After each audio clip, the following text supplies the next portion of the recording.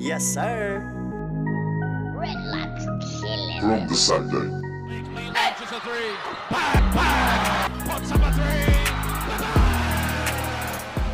Ang isa sa mga inaabangan ng mga basketball fans hindi lang dito sa Pilipinas, maging dyan sa Japan sa pagbubukas ng panibagong season ng B-League ay ang pagtatapat ng Ravenna Brothers. Sa kanilang unang pagharap at sa unang parte ng laban, bahagyang angat ang laro ng mas batang Ravenna. Ito nga po nga si 30 Ravenna his second season at yun ang naging advantage niya dito kay Kiefer na medyo nangangapa pa no? at ah, hindi masyado nakakahawak ng bola dito sa first half. Umabot sa 20 puntos ang naging kalamangan ng San Neo Phoenix dito sa Shiga Lake Stars. Pero pagdating ng second half, dito na natin nakita yung bangis ng playmaking ni Kiefer Ravena na isa sa mga naging rason kung bakit naagaw ng Shiga Lake Stars ang kalamangan dito sa San Enio Phoenix.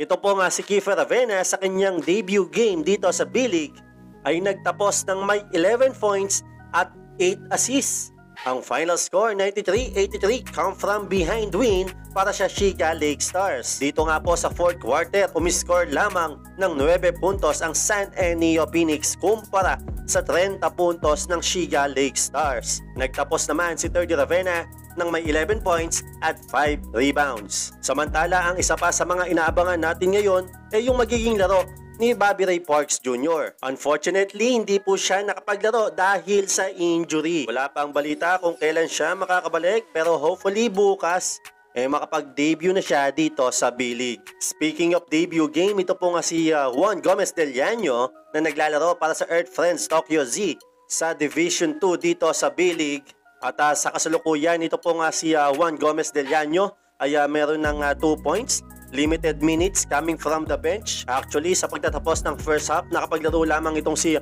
Juan Gomez Del Llano ng uh, almost 4 minutes at uh, hindi pa nga pinapasok muli dito sa third quarter. Ano man ang mangyayari sa laban na to, i-update ko kayo mga sir at manatili lamang dito sa aking channel para sa latest update dito sa B-League.